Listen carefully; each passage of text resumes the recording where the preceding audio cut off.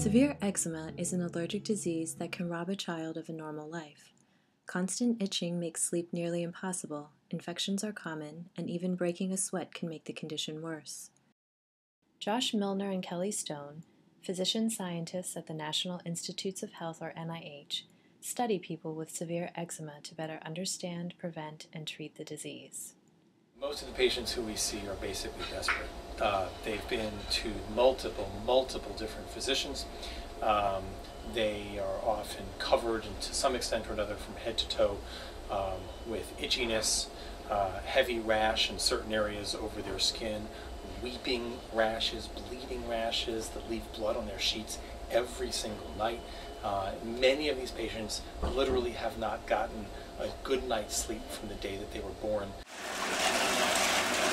Kids with severe eczema come to NIH for evaluation and may receive wet wrap therapy, which includes three baths a day. Here, Shannon Doherty covers her six year old son Logan with wet towels to keep his skin moist. Each bath is followed by an application of topical medicine and moisturizer that is sealed in with wet cloths. I had never seen his skin this clear except maybe at birth.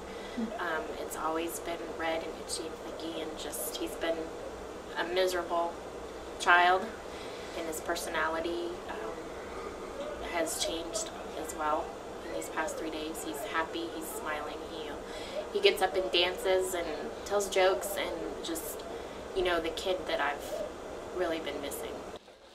NIH researchers have found that wrap therapy combined with education on daily skincare can lead to rapid and long lasting improvements in eczema.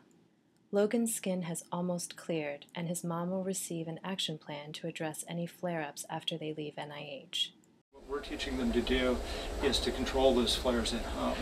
But by getting the disease under control with the wet wrap therapy, uh, we're able to maintain that control uh, much better.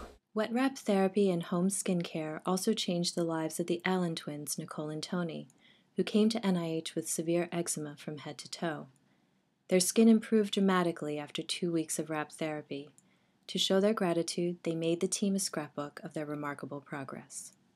Yeah, we actually got our life back. We couldn't do anything. I mean, we were inside on the couch. They couldn't really go to school.